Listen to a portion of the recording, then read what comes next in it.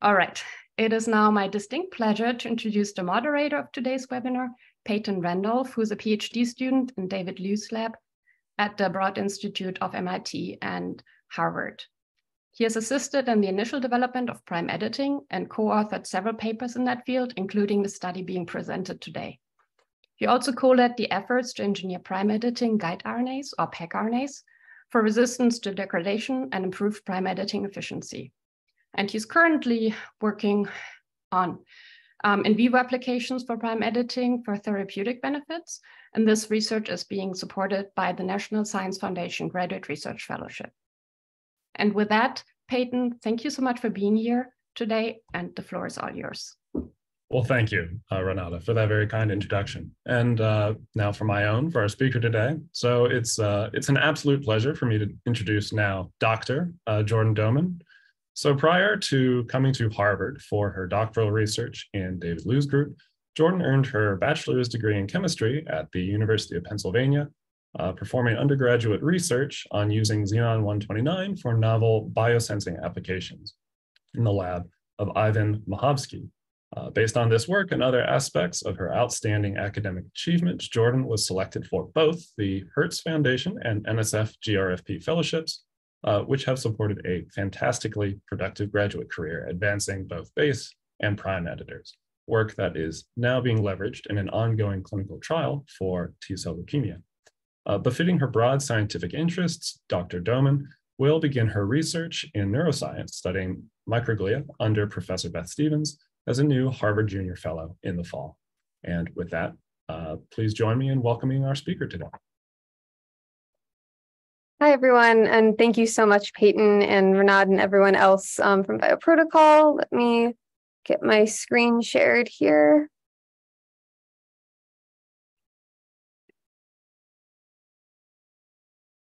Okay, can everyone see and hear? Okay, great. Um, yeah, thank you all for tuning in. I am really thrilled to tell you all about some of the work going on in the Liu Lab right now um, to develop and enhance prime editing for experiments um, in mammalian cells in this case, but um, they have many other applications too. So feel free to, um, you know, if any questions come to you throughout the talk, feel free to go ahead and put them in the chat. Um, and um, yeah, we can just get started. Okay, so um, just to kind of give you all an idea of what we'll be going over today, um, I think it's important to talk about when we should even be using prime editing relative to other genome editing technologies, what are kind of its optimal use cases.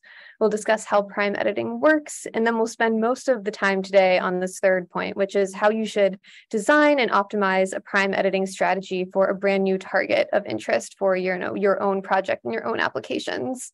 Um, we'll kind of finish off by doing some example applications. Um, I'm really excited to tell you about two of my coworkers' recent publications just within the past month that use prime editing for some really interesting therapeutic applications. And then we'll have plenty of time for questions at the end. So feel free to use the chat. So just to dive right in, if you're attending this webinar, you're probably interested in genome editing. And at this point in time, there are really, um, it's a really complete and robust toolbox that we have for genome editing in many different organisms. Kind of the first um, iteration of this and um, you know, really big breakthrough was Cas9 nuclease. And traditionally, when people use Cas9 nuclease, you're targeting the Cas9 protein to induce a double-stranded DNA break at a target site in cells. And, um, you know, if you just do this, you'll generate indels or insertions and deletions at the target locus. Um, and if you add a DNA donor, you can do HDR or homology-directed repair to install specific mutations. Other tools developed later on from the Liu lab are base editing, which can convert um, specific bases to other bases, so C to T or A to G, and we refer to these as transition mutations. Um, unlike Cas9 nuclease, these do not go through a double-stranded break intermediate, which is really useful, but again, they can only do these transition mutations. And the subject of today's talk is going to be prime editing in which you use a reverse transcriptase fused to a Cas9 negase to kind of synthesize this DNA flap intermediate. And you can use it to install any small DNA change, and you can use some kind of um, improved and enhanced versions of prime editing to make even larger changes to the genome. And, you know, Cas9 nuclease, base editing, and prime editing, they all have their pros and cons, right? If you just wanted to knock out a gene, for example, you might just want to use Cas9 nuclease. It's efficient, it's fairly easy to do, um, but the downside is that it does only generate indels, and you often can't control what these indels are let's say you wanted to install, um, you know, a specific mutation in an HDR competent cell type, then maybe you would use HDR. Um, it can be really versatile and very efficient in the cell types that it works in, but unfortunately, it doesn't work in all cell types, such as postmitotic cells. And because you're still going through a double-stranded DNA break, it can lead to other undesired consequences like um, large deletions, um, indels at the target site, large um, translocations, um, other undesired byproducts such as that. Um, base editing, like I mentioned, is very efficient and they're very, very good at what they do, but they're only limited to transition mutations, so C to T and A to G changes. And that kind of leads us to prime editing, which in a lot of ways is kind of a lot of the good qualities of all three of these technologies wrapped into one. So it's versatile. You can install any mutation that you want as long as it's small. And like I said, there are ways to manipulate prime editing for larger changes. Um, and if you optimize your prime editing approach well, you can have very low indels and very efficient levels of editing. And it's been shown to work in a wide variety of cell types. So um, primary um, cortical neurons isolated from mice. It works in vivo in the CNS. It works in the liver, in plant cells, E. coli. So it's really versatile. It's really flexible and it can be really efficient. So it's a really powerful technology. But the downside of prime editing is that it requires a bit more optimization and a bit more time spent on your editing technique than some of these other technologies that I just talked about. Um, but that's kind of what we're here to address today. So how does prime editing work? So I mentioned that prime editing um, uses a prime editor protein, and it also uses this modified CRISPR guide RNA called a pegRNA. A prime editor protein is made of a Cas9 nickase fused to a reverse transcriptase. And the PEG RNA that it uses is in some ways very similar to a normal CRISPR guide RNA. So it has this scaffold sequence that can bind to the Cas9, and it also has a spacer, just like normal guide RNAs that targets it to a certain spot in the genome. What it has that most CRISPR technologies don't use is this three prime peg RNA extension, and we'll get into what exactly is in there in a minute. But let's say that you've managed to deliver your prime editor and your pegRNA into a cell to do genome editing. The two associate, and then the guide RNA is able to target the prime editor protein to a specific spot in the genome. Because you're using a Cas9 nickase instead of a nuclease, it will nick just one strand, so just this top strand of DNA, and that frees this um, three prime flap of genomic DNA. And this is where that three prime extension that I mentioned comes in. So what you have now is you have this genomic flap that you've generated from your nick, and you can design this three prime extension to have basically any sequence you want. And we kind of split it into two parts. So the very end is what we call the PBS or primer binding site. And then immediately after that is the RT template. So what do we design these things to do? So the PBS is designed to be complementary to this genomic flap that you've generated. So it base pairs with the DNA from the genomic flap, and you create this DNA RNA duplex from the PBS in the genome. This is then recognized as a substrate from your reverse transcriptase enzyme that is fused to the Cas9 nickase. And the enzyme will start reverse transcribing using the genome as a primer, and it will add bases onto it based on what is encoded in the RT template. So you're able to kind of dictate whatever you want to put into the genome based on the sequence of your RT template. So for example, you might encode maybe two bases that you want to edit by um, encoding those changes in the RT template. The RT will synthesize those bases onto the end of your genomic DNA flap. And it's also very important to include downstream homology in your RT template as well. And that's because when the reverse transcriptase is done with its job and it finishes synthesizing the RTT templated bases, this complex will fall off and you'll be left with a flap with your edit, but also this downstream homology. The downstream homology allows the flap with your edit to kind of lay down and kneel into the genome. And then you have what we call flap equilibration, and in a series of DNA repair steps that we kind of partially but don't fully understand, this intermediate is either resolved as the edit being permanently installed, or it can also be reverted back to the wild type sequence. So this is kind of the general cascade of prime editing events for what we call the PE2 system. So to kind of update everyone on some nomenclature, PE1 is the original prototype prime editor where uh, members of our lab just kind of stuck together the MMLV reverse transcriptase and Cas9 nickase. PE2 is a huge improvement over PE1 and it uses mutations in the MMLV-RT that enhance its activity. So basically there's no reason to use PE1 anymore. PE2 is kind of our baseline prime editing system. And it's useful for a lot of applications.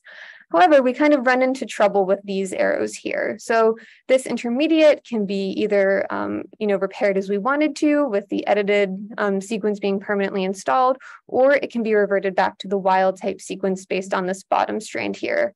Um, and this is dictated by cellular MMR. So there are a few different advances to prime editing that have allowed us to kind of enhance this arrow here towards the edited sequence and away from reversion to the wild type sequence. One thing you can do is you can just add another guide RNA. So it's not a PEG RNA, it's just a normal CRISPR guide RNA. And this because it's, you know, there's no three prime extension. The only job of the second guide RNA is just to direct the prime editor protein to nick this opposite strand. Because mammalian mismatch repair is nick directed, the addition of this nick kind of confuses the cellular MMR machinery. And instead of reverting things back to wild type, it becomes more likely to install your edited sequence. Another way that we can kind of bias these MMR outcomes in favor of the edited allele is by adding the MLH1DN, which is a dominant negative mutant of the protein um, from the MMR pathway MLH1. So this inhibits cellular mismatch repair, and much like the NIC um, that we just talked about, kind of shunts these um, intermediate products towards the edited outcome. So when we have just a nicking guide, we call that PE3.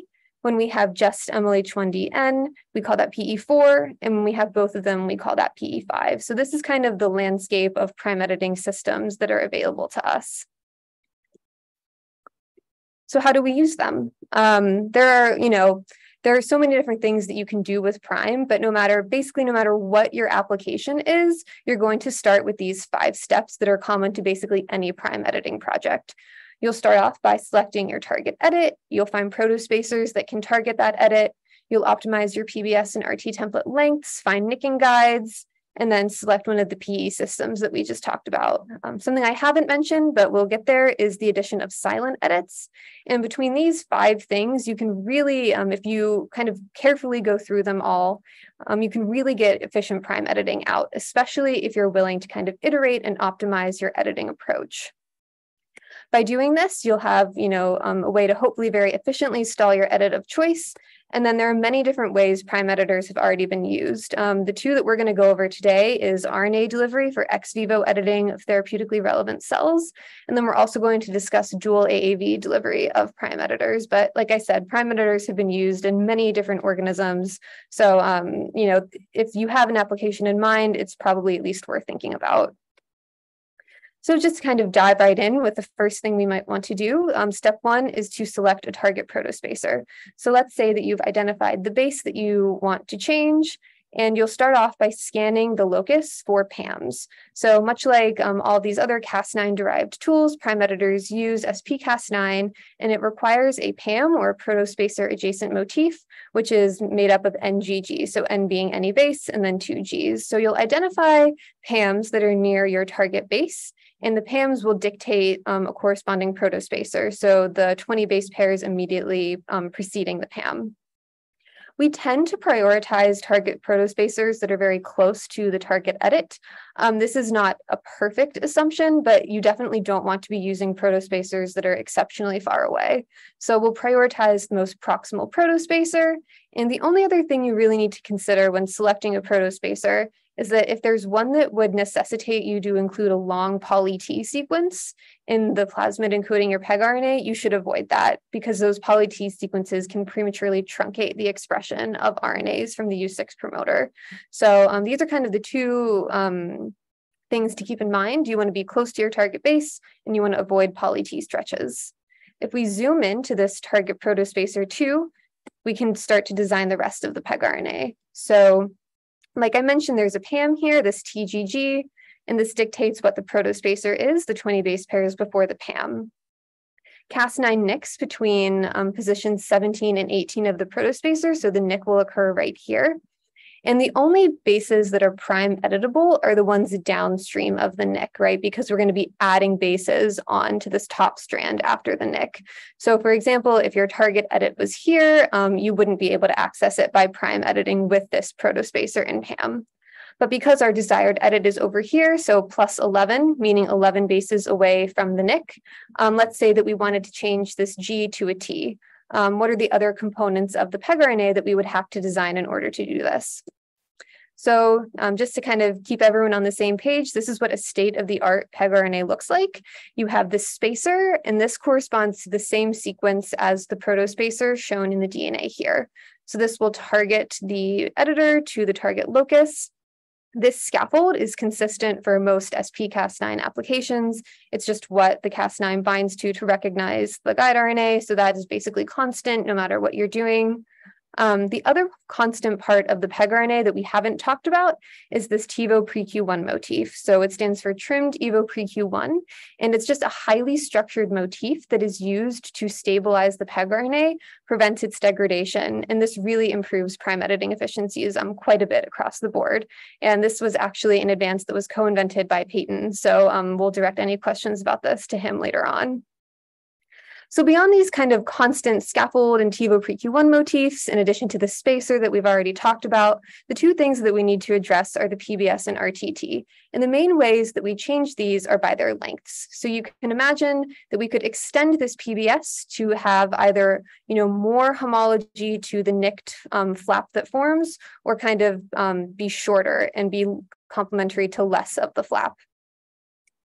For the RTT, we know it's always going to start at the nick because that's where the RT will start reverse transcribing. We know it's always going to contain the target edit. So for us, we want to change this G to a T. So we'll template that with an A in the pegRNA. But we don't know how long to extend it for. So how much downstream homology do we want the RT template to encode? So these are kind of the two lengths that we play with. How much hybridization do we want the PBS to have? And how much downstream homology do we want the RTT to encode? To give you a ballpark of the, um, you know, lengths that we typically use for these, almost all PBSs, it's pretty easy. They'll usually fall between 8 and 15 base pairs. So we'll usually select maybe three within this window to start out with. And this is pretty agnostic to the edit type. Um, it's kind of always in this range. The RTT is a little bit more complicated because it depends on the edit that you're encoding. So you definitely want to have downstream homology no matter what the edit is. But kind of what we typically do in the lab is if we're doing a small change, like the single base pair change, you don't need so much downstream homology, maybe, you know, 10 or so bases. Um, you know, we're kind of varying the total RTT length between 18 and 24 for this edit. But if you had, for example, a longer edit, maybe you're inserting a flag tag like people have done in the original prime editing paper, you would want more downstream homology because of the larger change. So that's one thing to keep in mind. And then the other concern for the RTT length is that you don't want it to be at a length such that the first base of it is a C. Um, we've found that that can disrupt interactions with the guide RNA scaffold. So that's just kind of a, pit, a pitfall to avoid. So these are the um, things that we consider. And typically when we're designing a new uh, prime editing strategy in our lab, we'll pick a couple PBS lengths, a couple RT template lengths, and then the number of pegRNAs that we test is just kind of a matrix of those. So if you were to design three and three, it would be nine pegRNAs for, you know, kind of an initial first pass screen. So that's everything that we needed to cover for the pegRNA. Um, but you know, you also will probably want to be, oh yes, and remember to always include the EPEG modification because it's really helpful for editing. So in addition to the pegRNA, um, you'll probably want to design nicking guide RNAs because they're really also very helpful for boosting editing efficiency we want to be nicking the opposite strand relative to where um, the prime editing is happening. So if your um, PAM and ePegRNA spacer are on the top strand, you want to look for PAMs on the bottom strand for your nicking guide. Um, the other consideration for the nicking guide is that typically, although not always, um, these nicking guide locations in the plus direction or kind of on this side of the nick tend to perform better than nicking guides that target the minus direction, such as over here. So for example, you might want to prioritize these nicking guides um, if you, you know, have several options. The other consideration for nicking guides is that if you get very lucky, you might be able to do what we call a PE3B strategy. So the PE3B strategy requires that you have a PAM that happens to be on the opposite strand and close to the site that you're trying to edit. So for example, if you're trying to do a plus one T to G mutation here, you'll notice that there's a PAM on the bottom strand. And what PE3B is, what this allows you to do, is it allows you to design your nicking guide so that it can only target that top strand after the RT has already synthesized your, you know, mutant flap. So for example, if we're using this bottom PAM, we'll have this nicking guide protospacer here. And you'll see that the C here does not perfectly match with the T that is in the original wild type allele, but it does match perfectly with the G, which is the edit that you want to encode. So this nicking guide is only perfectly matched after the first several steps of prime editing have happened, which is really beneficial because this can decrease the level of indels that you see. And we've used PE3B strategies to really improve editing to indel ratios at a few different sites um, in our lab. So those are kind of the main considerations for the nicking guide. In many ways, it's much simpler than the PEG-RNA. You're really just finding protospacers. There's no need to design an, an EPEG motif or a PBS or an RTT or anything like that. Um, oh, and one other note about PE3B is that I think everyone I know who has tried to design a PE3B strategy at one point has thought that they could do this with the PAM itself. Um, but you cannot do this with the PAM, only with protospacer bases, because what you're recognizing is the other strand, whereas the PAM is on, on this bottom strand here. That's just like a really common error that a lot of people make, myself included. Um, so watch out for that. Okay. Um, the last thing, or sorry, one of the last things that you'll need to um, think about and I haven't really mentioned this before, is the addition of silent mutations. Um, so just to kind of contextualize when these are useful, let's go back to our original edit, this plus 11 G to T. Let's say you found an optimal PBS, you found an optimal RTT, you do prime editing, and this is kind of that same intermediate we talked about with the mismatch. Um, this is well on its way to being edited, but there are a few problems with this intermediate. Problem number one is that this TC mismatch forms a kind of mismatched DNA bubble that is very efficiently recognized by cellular mismatch repair. So, um, you know, we've talked about competing back to the wild type allele versus the edited allele. So this type of mismatch, kind of the shape of this distorted DNA helix is going to be a very good substrate for reversion back to the wild type allele. The other problem with this intermediate is that even if, let's say that you do resolve this mismatch the way you want and your edit is installed on both strands, you still have a PAM intact here, which means that the prime editor can come back, nick again, reverse transcribe again, and potentially mess up your edited product. We can get around both of these problems by installing silent mutations in the RTT in the same way that we install the desired edit. So you want to make sure that these don't change amino acids or anything else significant about your site, but it can be very helpful to say have an RTT like this one with these silent mutations with this G and this C encoded in the PEG RNA here. And if you use this kind of silent mutation containing RTT instead of the original one, your intermediate will look a little bit more like this. And this is beneficial for a couple reasons. So one, this bubble is now not just a single base mismatch. Um, it's now kind of this larger distortion of the DNA helix, which counterintuitively is actually recognized less strongly by cellular mismatch repair machinery. So this is more likely to evade MMR proteins that would like to revert your edit back to the wild type allele. Secondly, this PAM or you know this TCG sequence is no longer a PAM, right? The PAM has mutated. So after editing, you can't have the prime editor protein come back, renick, and start the whole process over again. So these two modifications really help this intermediate get converted to an edited outcome and stay there after editing is completed. So that's how we use silent mutations to enhance prime editing efficiencies. And then finally, we've kind of already touched on this, but I think it's worth um, considering more from an experimental design perspective, is that there are five prime editing systems, PE1 through 5. And, you know, each one kind of lends itself to certain applications, but not all applications. Um, the only one that you'll never want to use is PE1. Like I said, this was a really useful prototype. It was absolutely necessary for the invention of prime editing, but it's never going to be the most efficient thing to use. Kind of the baseline that you would want to start out with is PE2, and this is just the Cas9 RT pegRNA system. Um, there's no nicking guide, there's no MLH1DN. Um, honestly, this is probably never going to be the most efficient approach, but it is nice in that it's the simplest. So let's say that you're just screening pegRNAs and you don't want to have to worry about optimizing a nicking guide just yet. You don't really want to mess with MLH1DN, inhibiting cellular mismatch repair. Um, PE2 might be a good place to start. But if you really want to get good editing efficiencies, what I would recommend is the PE3 or PE5 systems. So both of these use an additional nicking guide that can boost editing efficiency. Um, and PE5 also uses MLH1DN. And choosing between these two systems is going to depend on a few different things. The first one is going to be your edit type. So um, like we mentioned in the silent edit slide, MLH1DN um, or mismatch repair in general really recognizes these single mismatch um, mutations. So if your target edit is a SNP, um, it's very likely that MLH1DN will help. If you're doing a longer insertion or a longer deletion, it's less likely that MLH1DN will help. I think our cutoff is like four to five base pairs usually. Um, so that's one way you can choose between PE3 and PE5. If you have a lot of indels in the PE3 system, you might want to switch to PE5 because PE5 has been shown to minimize indels. Um, but on kind of on the other hand, if you don't want to inhibit cellular mismatch repair globally, you might want to stick with PE3. So I think of PE3 and PE5 as kind of similar, um, but certain aspects of your application or your edit type might tip the scales one way or the other.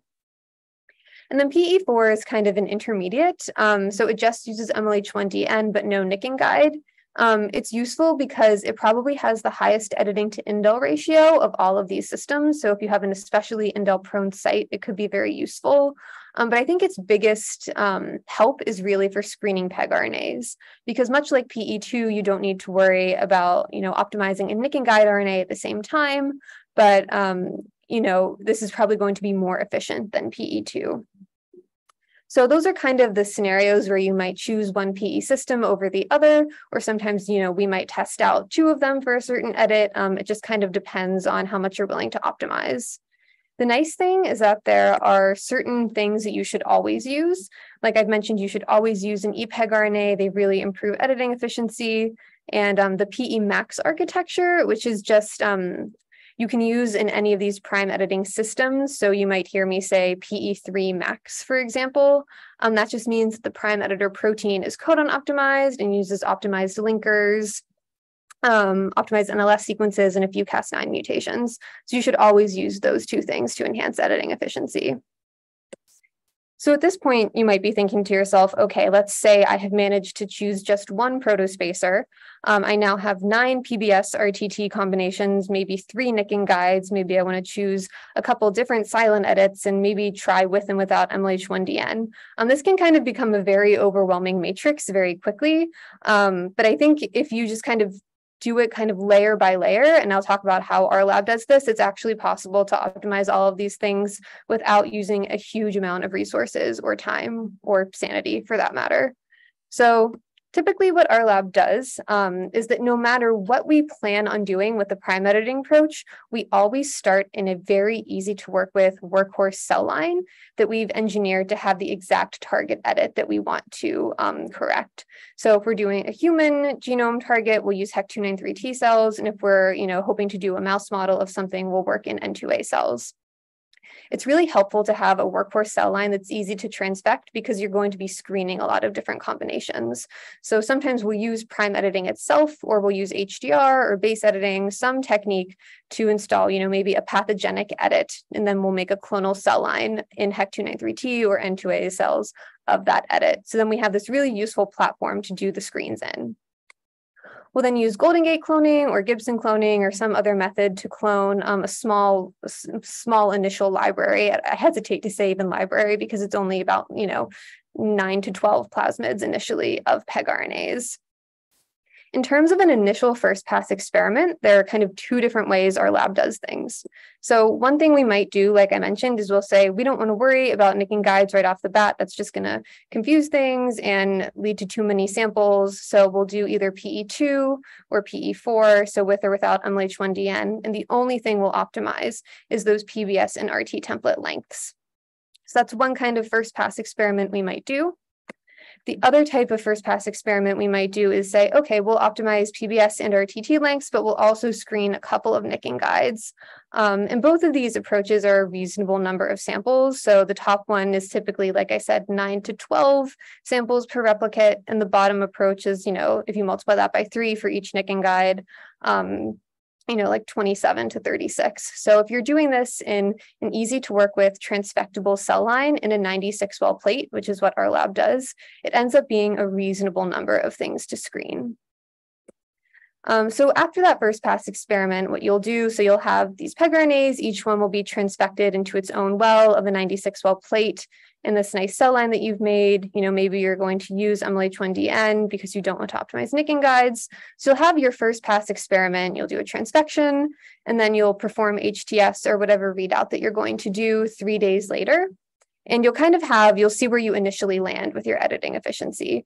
And this kind of first pass outcome can be very different between different types of edits and different sites. So once you kind of see what your starting point is, it's then kind of up to you the number of rounds of iteration that you want to do to improve. And, you know, if you're just using prime editing to kind of, um, install a mutation and then you can screen clones. Maybe you really don't need the editing to be that efficient. If it's a therapeutics project or you want to do in vivo editing in a mouse, you'll probably want to get the editing efficiency as high as you can. So then you can start iterating. So first of all, you know, maybe you see patterns based on your PBS and RT template lengths. Maybe the longest RT template length you tried gave the best editing. So you might want to kind of go back and test even longer ones out.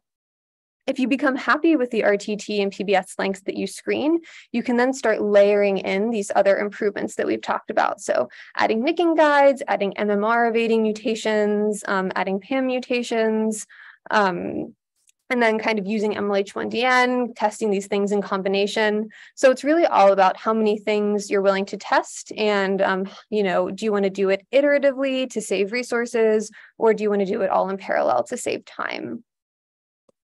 Um, this is just kind of an example of a campaign done in our lab. So these are for two different edits. The top one is for CXCR4 in orange, and the bottom is for this IL2RB edit shown in blue. And this was um, the results of an initial PBS and RTT screen in HEC293 T cell. Uh, sorry, HEC293 T cells. Um, and what's kind of cool is that you can see from this data that, you know, there are different PBS and RTT preferences between edits. So this top edit here, it doesn't really seem like the PBS length is so sensitive, but for this one, you really only have one combination that's doing much better than your other lengths. So um, this really does show that you just have to test a few things if you're doing a new edit. You can then select your best one. So for example, the 17.3% here and this 4.72% here, and start layering in these other improvements. So this is just showing, um, I think really beautifully how different prime editing improvements can stack together and take you from something that's really um, not usable to something that's pretty robust and something you might actually want to use in a project. So for example, this top one, it's that same edit from before, if you're doing PE2, you're only getting, you know, maybe 2% editing. When you start to use the PE max architecture that you should always use, and EPEG RNAs that you should always use um, and add an MLH1DN to get to PE4, you know, you go from sub 5% to about 15%. And then if you layer on a nicking guide RNA with that, you can boost editing efficiency even further. So I think um, this data really demonstrates that it's worth kind of going beyond that first pass experiment, doing maybe two or three rounds of optimization to really get um, large improvements in editing efficiency. Um, this blue graph on the bottom, this IL2RB edit, I think shows something else that's important to consider when you're optimizing a prime editing approach. And that's that all of these different improvements can kind of interact with each other. So if you look at these two bars here, um, we're not using any silent MMR evading edits, and your improvement from PE3 to PE5 with the addition of MLH1DN is really large. So you're maybe doubling your editing efficiency when you add MLH1DN. But when you include these MMR evading edits, um, the PE3 editing efficiency increases a lot.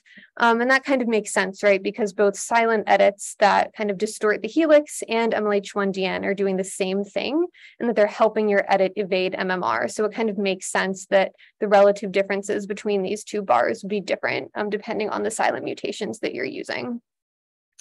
So you'll go through many rounds of iteration. Um, oh, sorry.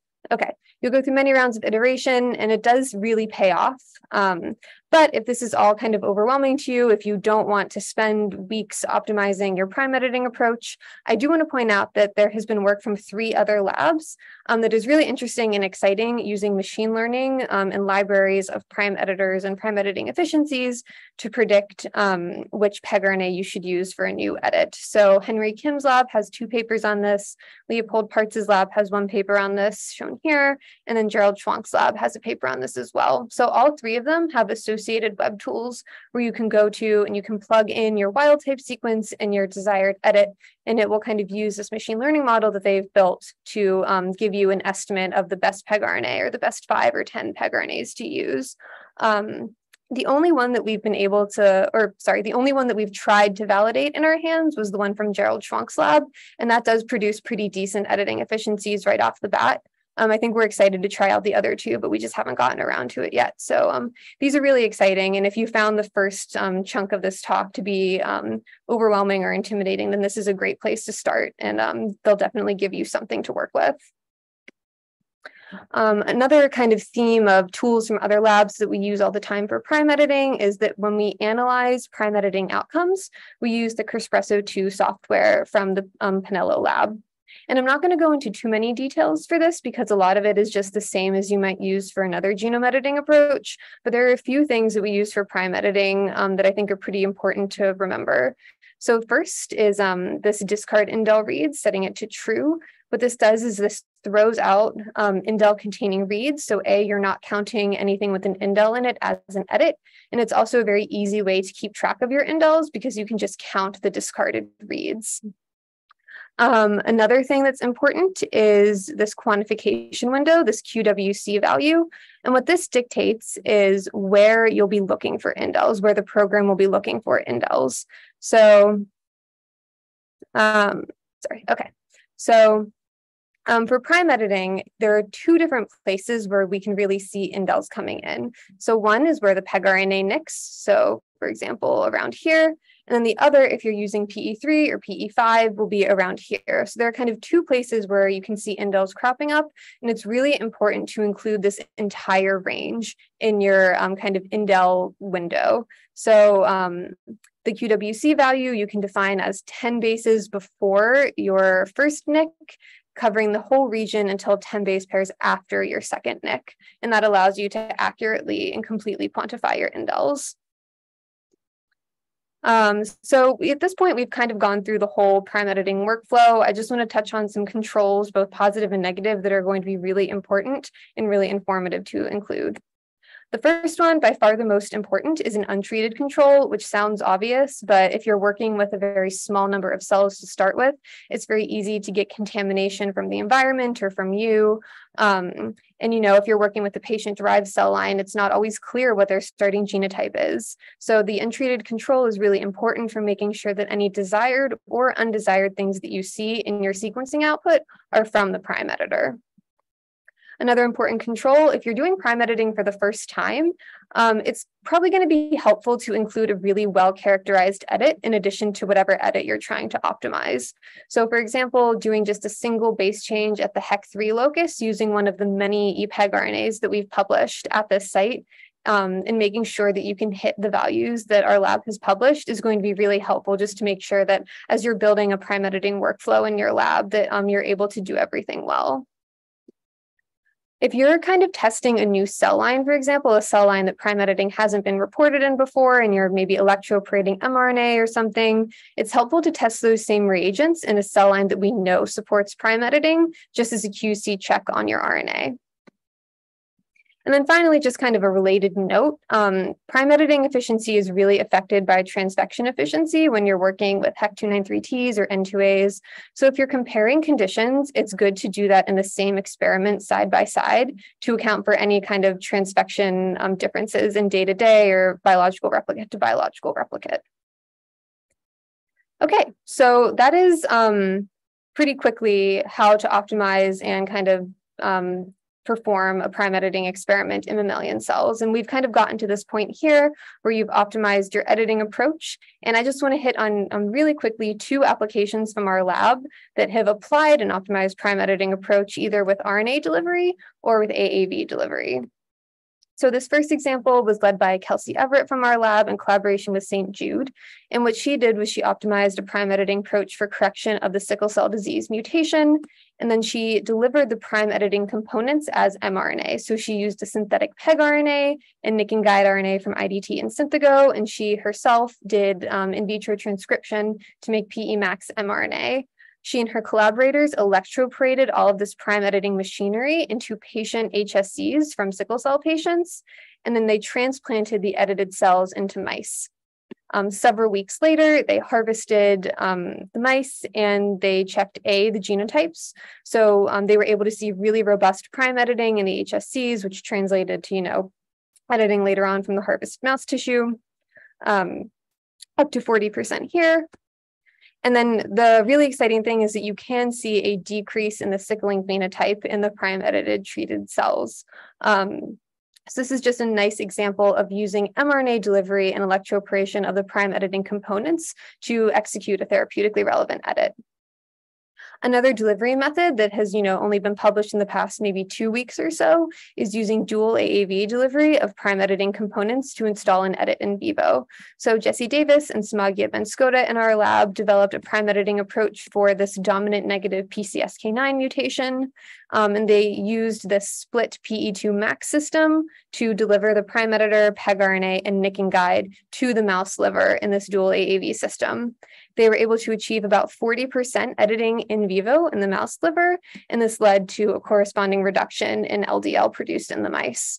Um, so this is just kind of, you know, if your target is an in vivo target, there are dual AAV prime editing systems that you can use. All right, so um, we're kind of at the end here to quickly summarize.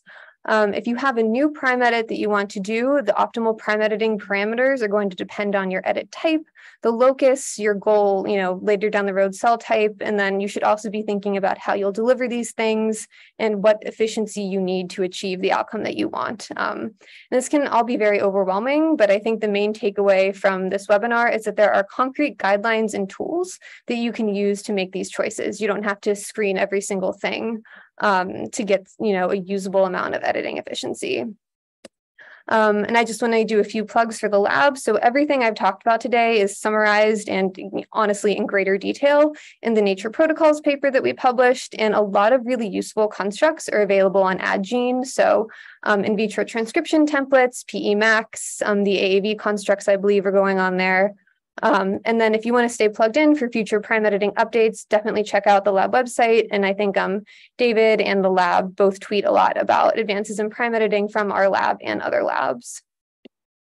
All right, so with that, I will um, do acknowledgements and then we'll take questions. Um, first of all, thanks to David. Um, I just finished my PhD in his lab and it was absolutely fabulous. And he's built um, this amazing technology that we've all been able to work on and contribute to.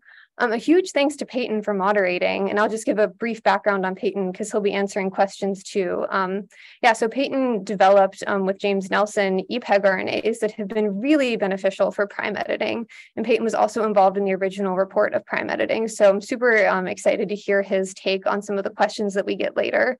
And Peyton also worked on this protocol paper with me and Alex Sousa, who co-led it, as well as Dr. Peter Chen and Dr. Anahita Vieira.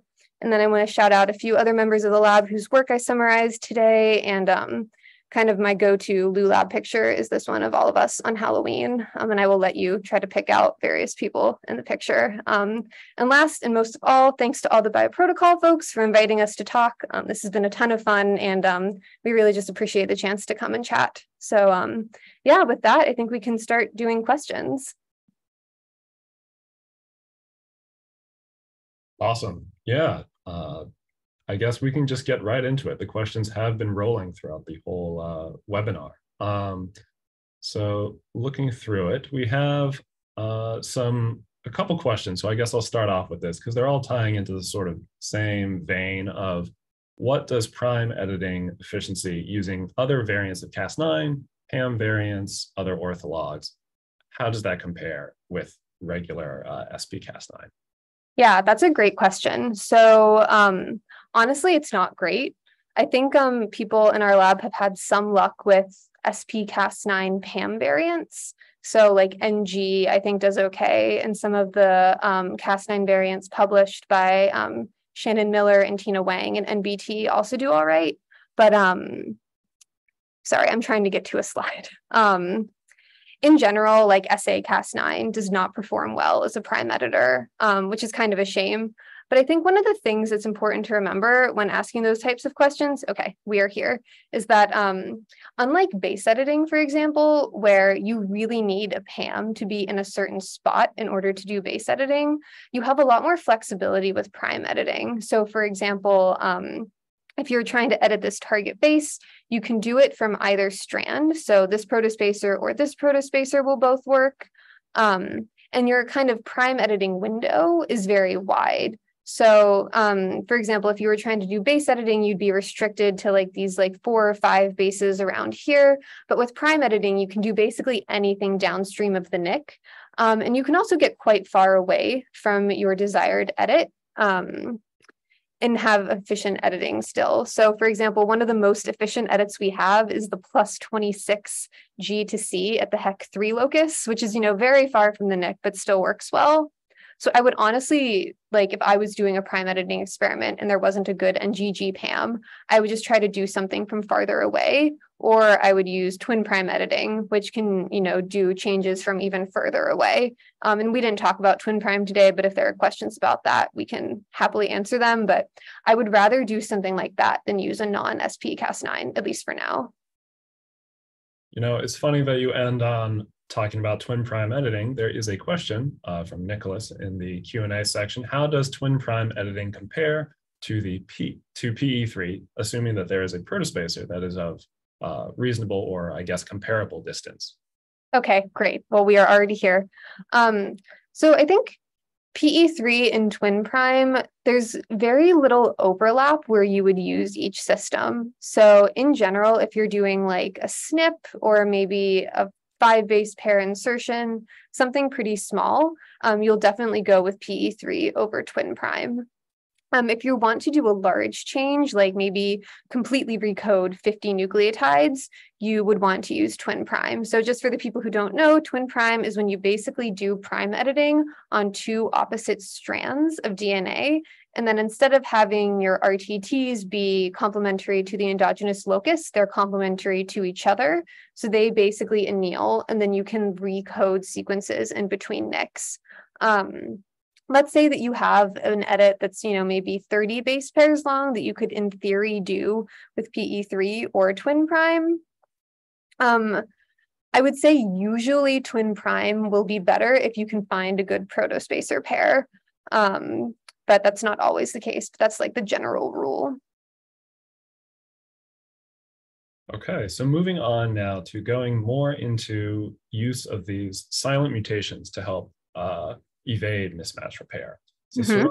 asking, uh, do they have to be close to each other to create a bubble? And as a follow-up, how does inclusion of the silent mutations impact your uh, sort of your three prime extension design, the design of that RT template and how much uh, homology, et cetera? This is a great question. Thank you for asking this. Um, so we want it to be pretty close to the edit. So I think in this example, I have it being right next to it. That's obviously not always possible because it could introduce an amino acid change you don't want, something like that. I think the rule of thumb is within five base pairs um, of your target edit. And another thing that's um, because you know you've brought this up is that not all silent edits are equally effective in um, evading MMR. So um, the paper to look at for that is um, Peter Chen et al. Cell 2021. He goes really in depth about how to use these silent edits to improve prime editing efficiency. So that's kind of the first part of the question. Second part is um, it's i think the question about how to design the rtt after you've included a silent edit is a good one. Um, i kind of mentioned that if you have a larger change we like to give more downstream homology to help with the flap equilibration. So you know if you've installed let's say three different silent edits adjacent to your snp you might want to look into lengthening your rt template to see if the optimal rtt length has stayed the same or maybe if you want to use one that's a little bit longer. That was a good question Okay, so next question uh, from Vikas. Is it okay to add the uh, glycine tRNA sequence of around 77 base pairs, which is used in plants to direct RNA to the meristem or flowers uh, at the end of TVR-PreQ1 in an ePEG RNA? I guess this is an ePEG RNA centric question. You take it, Peyton. Take this one. Um, so I guess neither of us have much experience, Jordan more than I do. I do with regards to genome editing in plants. Um, however, I can certainly say that uh, adding this structured RNA motif to the end of your three prime extension um, should be absolutely tolerated with regards to a, a functional PEG RNA for prime editing. In fact, um, if length of the species is a concern, um, depending on the promoter you're using to express your PEG RNA, uh, they definitely have certain length limits. U6, for example, starts to taper off around 300 um, nucleotides.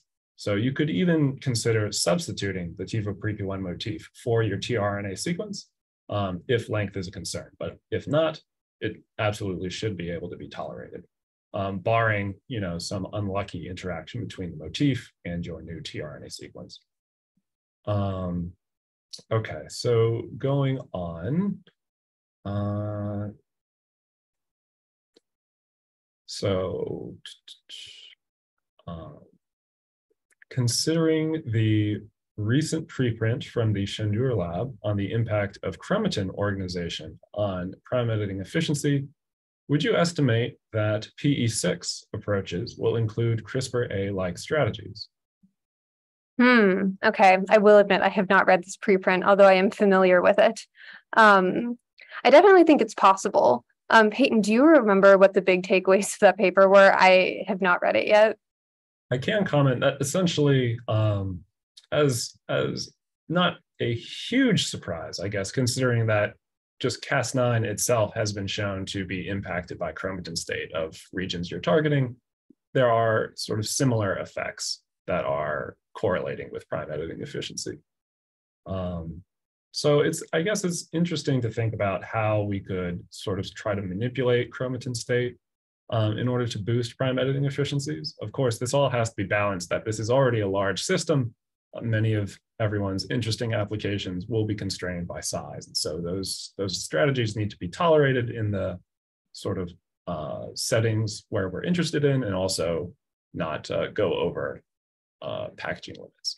Yeah, that's yeah, that's a great point. And to add on to that too, I think um kind of the chromatin context is something that, you know, I think these um PegRNA design papers, they've all used these really great library approaches to look at the effects of different sequences. But, you know, a lot of them are like lentivirally integrated. So we're not really examining a diversity of chromatin states with libraries like these. So I think um, that's kind of an area that's been like less well explored, for example, than like the sequence preferences. Um, so it'll be interesting to see what people find there. But yeah, I agree with Peyton. The prime editor is already very big. Um, this dual AAV system that Jesse and Smagya made was already like a very Herculean effort. It like barely fits, and they had to do a lot of optimization. Yeah. Okay, so touching on, I guess, the first question that was asked from Thanavan, uh, how do you minimize the off-target effects of prime editing? Any form of gene editing technology like CRISPR, prime editing, base editing, uh, shown to have bystander effects. How do we design experiments so that these effects are minimized? Another good question. I should have had a slide on this. Um, and I didn't have a slide on this because off target editing is actually not a huge problem for Prime. And I think the reason why is kind of hidden in this slide. Um, so for normal CRISPR Cas9 genome editing, so Cas9 nuclease or for base editing, um, all of your targeting is based on one kind of homology or complementarity event, which is this protospacer target genome interaction. So when you have that in other spots in the genome, you get off target editing. Um, but for prime editing, there are kind of a lot of other checkpoints in place where you need certain things to be complementary in order to get an off target. So not only do you need to have um, an off target that's a very similar sequence to your protospacer, but you also need this PBS to match really well. Um, and you also need this kind of downstream homology to match really well. So just kind of as you layer in, okay, you need the protospacer to match, you need the PBS to match, and um, mismatches in the PBS are not very well tolerated. I think that was actually in um, the latest Henry Kim paper.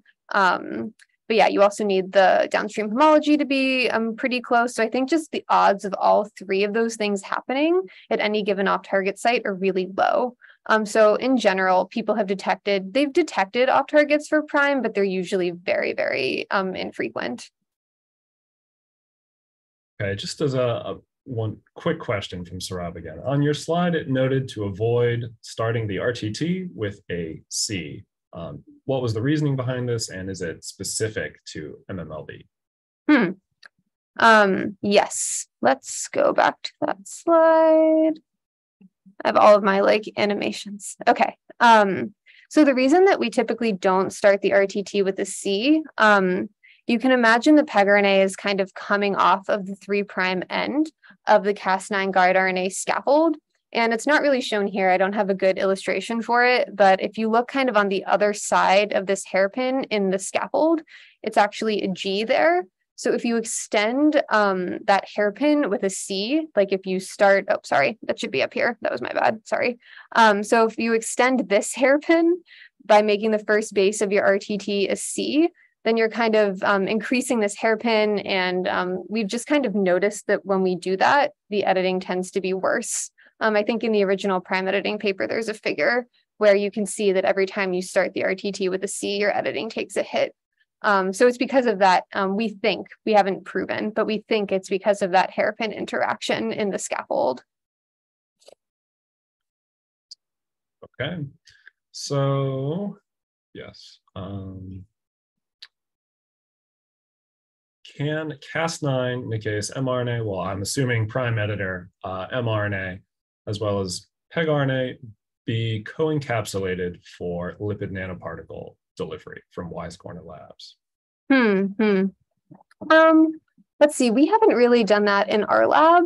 Um, I've seen like some presentations on using lipid delivery of prime, um, but most of the RNA work that we've done in our lab is electroporation.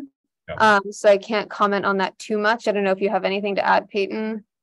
I think we've we're thinking of similar presentations where it has been shown that you can get some editing uh, via this delivery strategy. Um, but certainly not something our lab has a ton of experience with. Yeah, if we're um usually if we're doing at least in our lab in our hands usually if we're doing rna delivery it's some sort of ex vivo situation or patient derived cell type and we'll use like a lanza electroporator and then if we're trying to do something in vivo we'll typically turn to aav but that's probably just kind of based on preference more so than it being possible or not Roman is asking about the pegRNA. Do you recommend to clone it into a plasmid or to synthesize it and transfect directly? Hmm. Yes, um, you should definitely when you're starting out, right? Because like we've talked about, you'll be screening, you know, probably around a dozen, maybe even more pegRNAs. Um, so if you try to order all of those as, you know, um, and we also order our pegRNAs when we do use synthetic pegs, we order them modified. So they end up being quite expensive. So you definitely would not want to do that right off the bat. It would be um, a huge cost to order, you know, every peg RNA that you would want to screen as a synthetic peg. So that's why we start out with everything as a plasmid. So we'll screen our initial set of ePEG RNAs as plasmids, um, and we clone them just, you know, by ordering oligos that encode the um, spacer and the RTT and the PBS. Um, that's all summarized um, pretty thoroughly in the Nature Protocols paper, but um, definitely start out as plasmid, optimize everything in a plasmid situation. And then if you have a really efficient system that you're comfortable with, then you can bite the bullet and buy the expensive, you know, synthetically modified pegRNA from IDT. Great. And then Svetlana is asking about what kind of techniques uh, can be used to uh, enrich for successfully edited clones after. Hmm. Hmm, that's a good question. Um, so something that we use in our lab, um, I'll stay on this slide even though it's not explicitly shown here. So um, like a lot of genome editing tools, if you have a lot of prime editor, you're more likely to get good prime editing. So we have like PEMAX, P2A, GFP constructs. So we'll flow sort for highly expressing GFP cells, which means they have a lot of PEMAX, which means they're more likely to have been edited than, you know, your cells that didn't get a lot of prime editor. So that's one thing we do. I've seen a few other papers. I'm forgetting the labs where they'll have like a prime editing reporter, um, and then they'll be able to flow sort not for their edit exactly, but kind of like a proxy edit. Um, so I think it's kind of a similar thing to what we do of just selecting for cells that got a lot of prime editor in them. Okay. Um, just a quick one from Sarah. Uh, just refreshing again, what is PEMAX and how does its architecture uh, differ from PE2? Yeah, I did breeze right through that. Um, let me pull up something relatively close to that. Okay. Um, so if this is kind of your non maxed prime editor, um, there are a bunch of changes in PEMAX.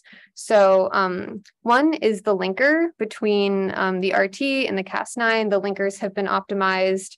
Um, this is just kind of a standard thing in genome editing that you know the relative orientation of the two domains can be improved by different linkers.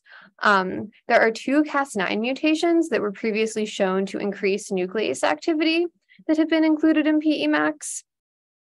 The RT has also been codon optimized in PEMAX. And I believe as part of the linker optimization, there's also now an NLS in one of the linkers, so more nuclear localization as well.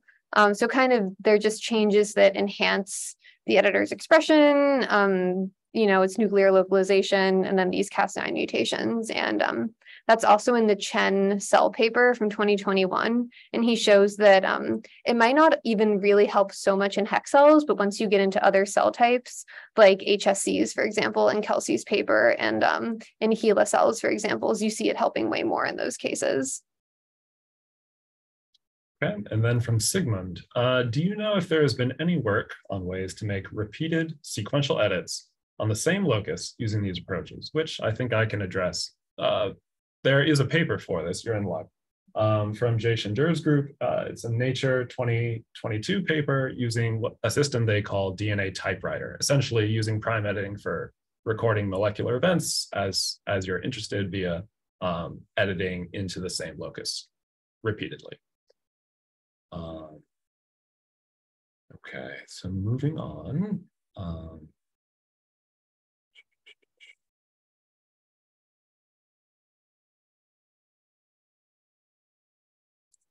it's been a lot of great questions so far. Thank you all for your interest in our work. Um, Sonali asks, uh, as you are working primarily with prime editing in animals, I still wanted to ask, can you suggest what the best strategies for prime editing in plants to maximize efficiency would be? Yeah, that's a great question. So I would refer to you um, to, there's a whole suite of papers from Taisha Gao's lab um, NBT for most of them, I believe, Nature Biotech. Um, her lab has put a tremendous amount of effort into optimizing prime editors in plants. Um, and there are some interesting differences between mammalian cell and plant cells. Like I think um, they find that removing the RNase H domain from the RT helps a lot in plant cells, but not in mammalian cells. So um, there are definitely some differences. So check out work from her lab for that. Um, they've done a lot of good stuff. Yes. Um, and then uh, Wise Corner Labs is asking about um, what if the non-spacer regions of the pegRNA could uh, bind to genomic DNA, uh, perhaps in an off-target sense or just a competition sense when it comes to successful editing? Hmm. Yeah, that's a good question. Um, I mean, my knee-jerk reaction is that they probably wouldn't do anything um, I think I think the risk of it affecting off targets is very low, just because I don't think it would be oriented properly to kind of catalyze anything. Um, but I think um, the other point about you know what if it's soaking up the peg RNA for some reason, um, that's an interesting thought. Um, I don't think we've seen any evidence that that that, that is like happening, but I don't think anyone has really carefully looked. Um, so yeah, that's an interesting point. We typically worry more about those parts of the pegRNA being complementary to other parts of the pegRNA more so than like the genome. Um, like if your pegRNA is like folded in on itself in a weird way or complementary to the scaffold, um, that can cause problems. Um, so that's kind of what we worry about more in terms of accidental hybridizations. But um, that's an interesting point.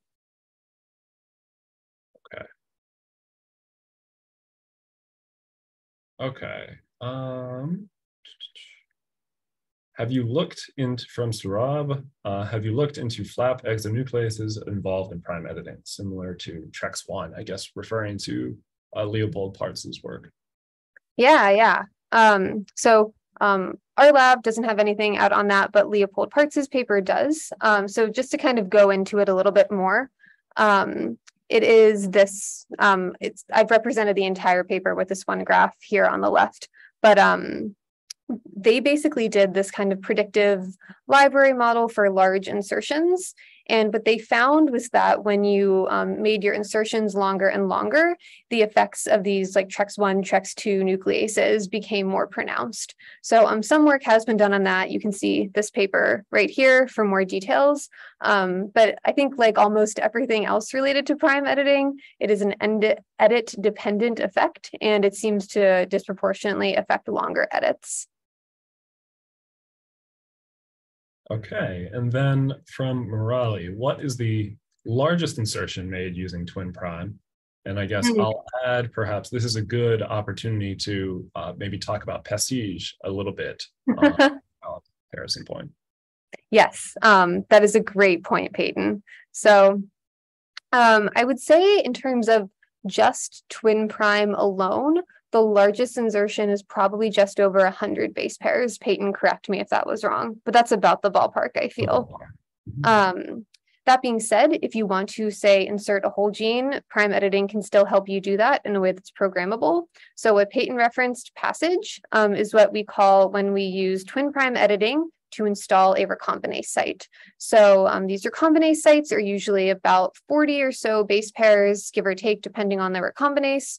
So you can use twin prime to replace um, the sequence between two protospacers and replace it with, for example, this at B sequence here.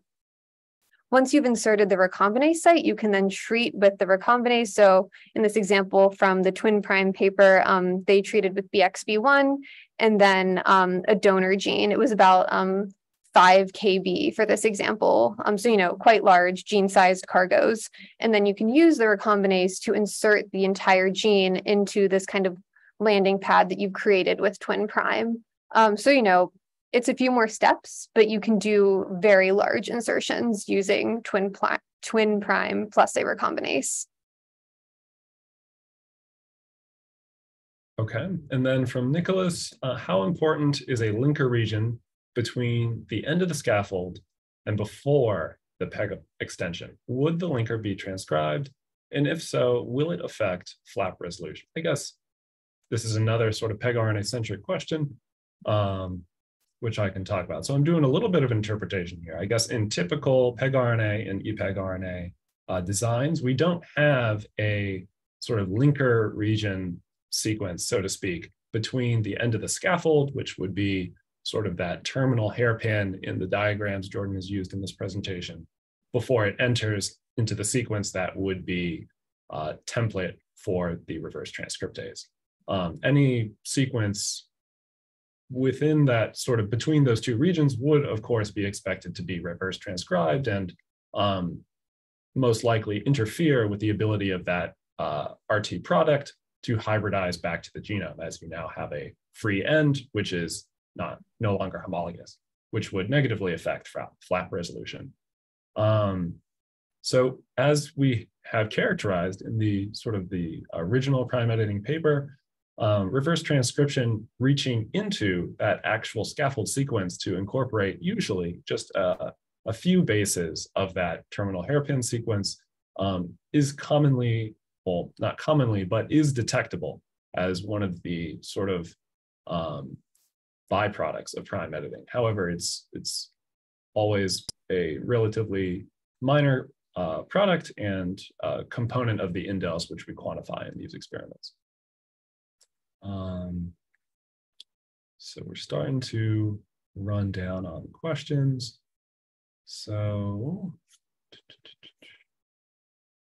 um, considering that 293 T cells are deficient for MLH1, um, would you still advise optimizing pegRNA designs in this cell type? So perhaps getting at, does the optimal extension design, is that affected by cell states such as MLH1 deficiency?